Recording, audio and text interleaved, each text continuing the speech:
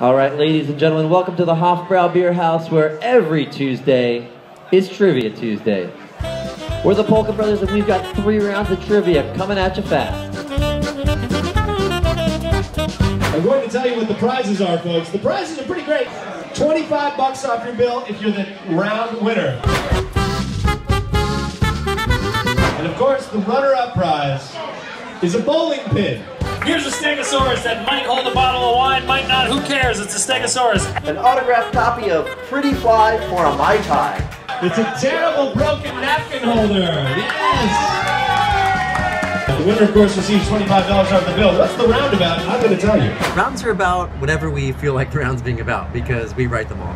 Everything from history to geography to music and movies. It's not super strict. It's just kind of fun, kind of nerdy, and kind of accessible. Now also remember, there is no cheating. It happened in the last round that there were some cheaters. It didn't go well for them and it won't go well for you. Uh, we take the no cheating rule pretty seriously. Uh, we've been known to point out that a table is cheating and then making the entire crowd boo them. It's a harsh penalty, but we believe it's deserved. You'll notice my brothers are wandering around and they're going to make sure you're not cheating out there.